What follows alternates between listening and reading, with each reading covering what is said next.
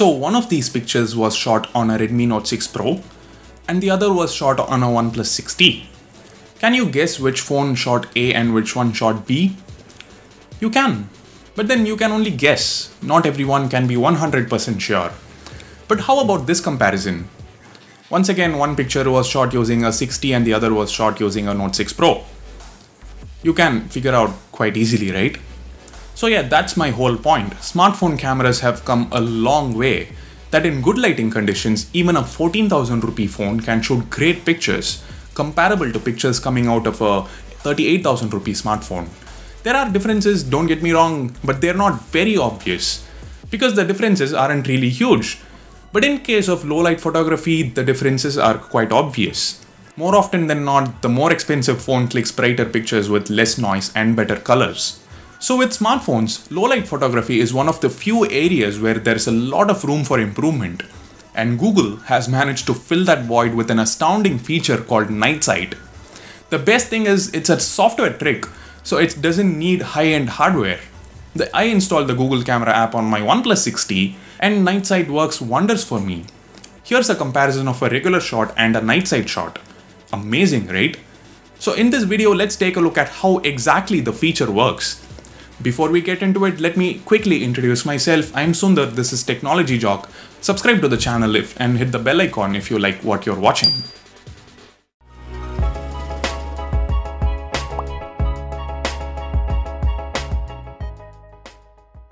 So the first thing the app does is capture 6 to 15 photos when you hit the shutter button.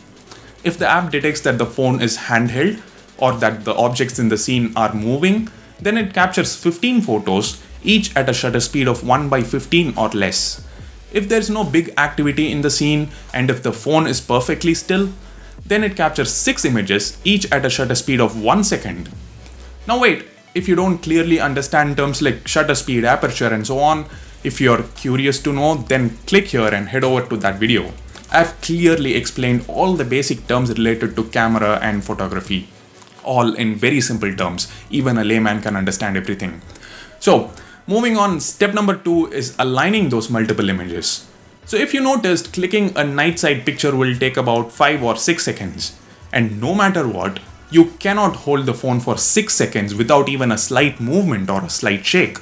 So obviously all those images won't be exactly the same, there will be minor differences at the edges of the frame there will be a minute difference. So the algorithm scans every single element of one image and places them exactly on top of the same elements of another image and so on.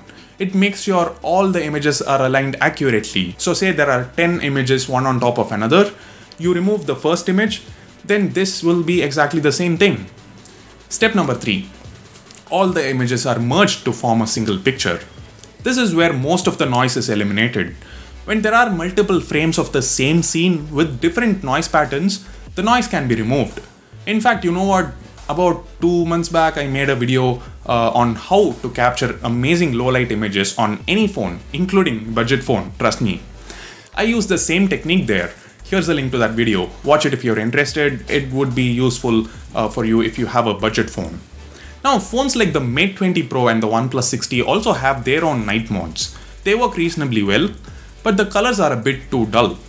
Both these pictures were shot on the OnePlus 6T. The left hand side picture was shot using OnePlus's night mode and the other was shot using Google Camera's night sight. You can see the difference, right? The trees are represented better by Google Camera's night sight.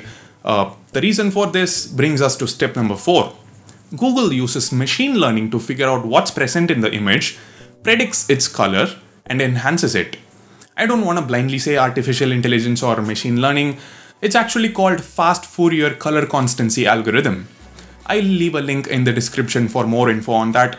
In a nutshell, the system has been trained on millions of images, just like Google's portrait mode algorithm. So the system detects all the major objects in the scene and enhances their colors so that the end result will have accurate representation of colors.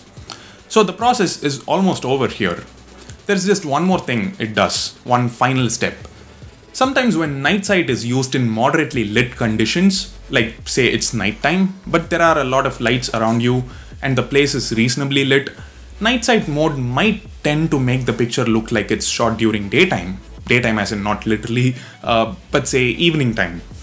Especially in major cities, since there are so many lights, they tend to lighten up the sky. It's called light pollution. Light pollution is the reason why we are not able to see many stars.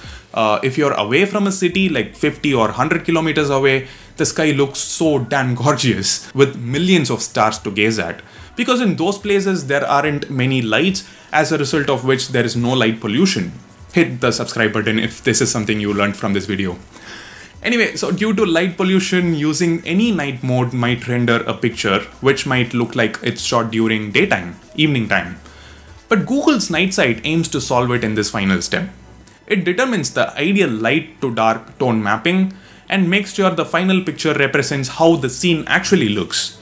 Theoretically, this is what happens under the hood, but practically there are a few flaws. Like uh, when there's a harsh light source in the frame, night sight tends to overexpose the region, whereas in the regular shooting mode, it's not overexposed. Google's HDR mode takes care of exposing everything perfectly. But let's not forget that this crazy feature is something we didn't even imagine getting, so we need to forgive those uh, few small flaws, minor flaws. Like, there wasn't even any rumor or leak about Night Sight. We thought we knew everything about the Pixel 3 before the launch, but turned out Google had somehow managed to keep the biggest feature under wraps. So that's it. If you feel this video was informative, helpful, uh, hit the thumbs up button. And if you want to see more content like this, subscribe to Technology Jock and hit the bell icon as well. Thank you so much for watching. This is Sundar leaving for the moment. See you in my next video. Bye. Have a great day.